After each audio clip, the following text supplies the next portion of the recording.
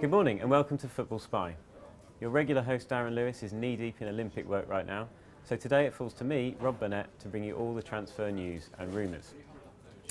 Unlike half the Olympic venues, the papers are all completely jam-packed this morning with coverage of the, of the London Games. So Spy is something of a bite-sized edition. But we've ferreted around and we've still managed to find you some gossip to keep you going. We start today with Manchester City and a story in our own Daily Mirror. Hard up City boss Roberto Mancini has been lamenting his desperately thin and apparently below par squad. The Italian claims that City have absolutely no chance of winning the Champions League with their current players and has urged the club to buy at least four new stars. This is something of a long-running battle Mancini is waging with City exec Brian Marwood, who is trying to move on some of the high-earning reserve players before splashing any more cash. However, this hasn't stopped City from making a £13 million bid for Liverpool defender Daniel Agger. Real Madrid and Barcelona are also interested, and according to Spy's own Darren Lewis, Agger himself has told the club he does want to leave, so one to keep an eye on there. Mancini's top target all summer has of course been Robin van Persie, but again in today's Mirror, the Italian admits City may be slipping behind Manchester United and Juventus in the race for the Arsenal star. Elsewhere, The Sun reports that Chelsea will smash, th smash through the £100 million spending barrier this summer. They've already splashed 66 million on Eden and Thorgan Hazard, Oscar and Marco Marin, and still want to bring in one or two players, according to The Sun.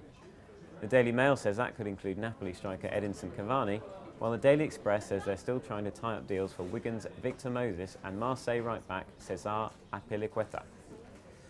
Across London at Spurs, The Sun says Luka Modric could finally be on his way after claiming Real Madrid have agreed a £36 million fee for the midfielder. The Times says Ricardo Carvalho could go the other way after the former Chelsea man was told he is surplus to requirements at the Bernabeu. Meanwhile, the Mail reports that Lyon president has told Spurs they will not sell, sell goalkeeper Hugo Lloris unless the France keeper demands a move. And finally on Spurs, the Mail says Giovanni Dos Santos could yet have a future at the club. The forward scored both goals in Mexico's Olympics win over Gabon yesterday and is set for talks with Andre Villas-Boas later this week when the Portuguese returns from Tottenham's pre-season tour of the USA. Up at Liverpool, two players are on their way out of Anfield, with Italian flop Alberto Aquilani close to a £7 million switch to Fiorentina, and reserve keeper Brad Jones set for a move to Norwich. Again, those stories according to the Daily Mail. And finally this morning, a couple of tales uh, on Arsenal for you. The Gunners are set to move for Southampton 17-year-old left-back Luke Shaw, according to our man Steve Stammers. Wenger has long been keen on the defender and had him watched again in Saints friendly with Ajax on Saturday.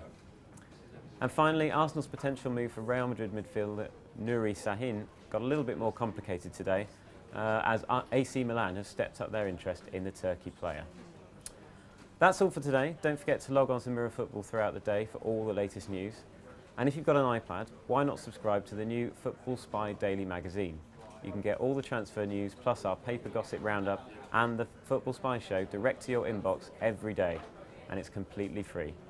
Check mirrorfootball.co.uk for details. More from me tomorrow. Bye for now.